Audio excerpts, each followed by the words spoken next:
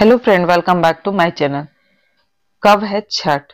छठ पूजा 2024 पंचांग के अनुसार छठ पूजा के पर्व की शुरुआत कार्तिक माह के शुक्ल पक्ष की चतुर्थी तिथि को होती है।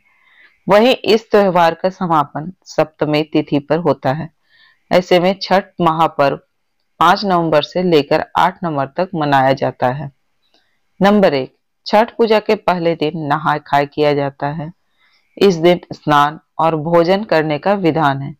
पंचांग के अनुसार इस बार पाँच नवंबर को नहाय खाया जाएगा। छठ पूजा का दूसरा दिन खरना पूजा होती है। इस दिन महिलाएँ नए मिट्टी के चूल्हे पर खीर बनाती हैं। उसके बाद उसे भोग के रूप में छठी मैया को अर्पित किया जाता है। इस दिन पूजा के बाद व्रत की शुरुआत होती है। इस बार खरना पूजा 6 नवंबर को है।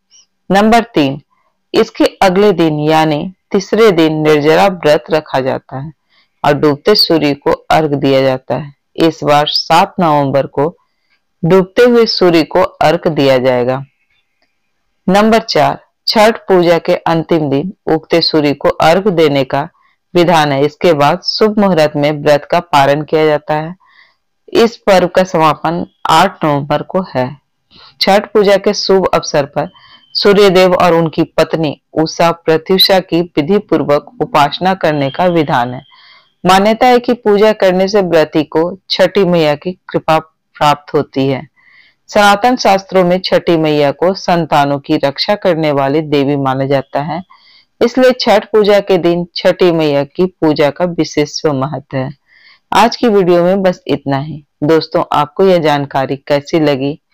कमेंट करके ज़रूर बताएँ। और वीडियो अच्छी लगी हो तो लाइक कीजिए और इसी तरह की वीडियो देखने के लिए हमारे चैनल को सब्सक्राइब करके बेल आइकन को भी ऑन कर दें, जिससे आपको नई वीडियो की जानकारी सबसे पहले मिल सके। तो फिर मिलती हूँ इसी तरह की और एक नई वीडियो के साथ। तब तक की लिए बहुत बहुत धन्यवाद।